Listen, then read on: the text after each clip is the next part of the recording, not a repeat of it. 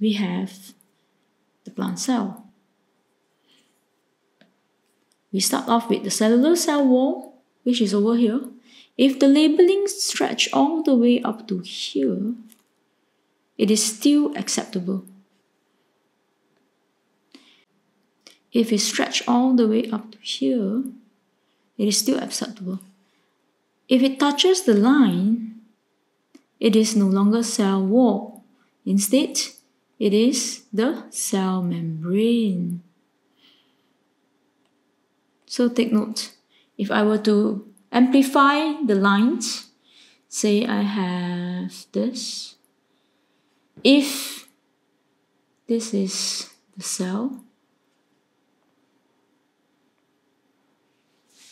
cell, the nucleus, etc.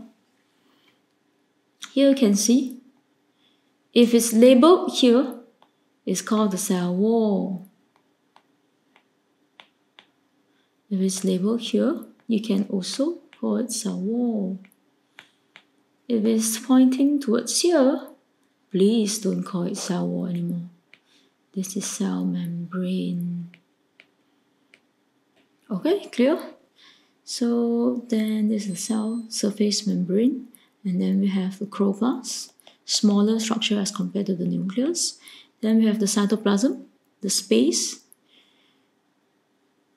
the space inside the cell surface membrane. Then we have the tonoplast.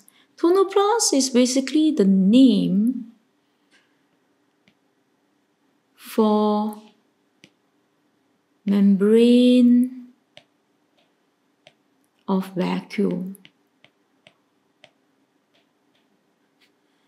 But this vacuole, remember, we have plant cells having vacuole. We also have animal cells having vacuole.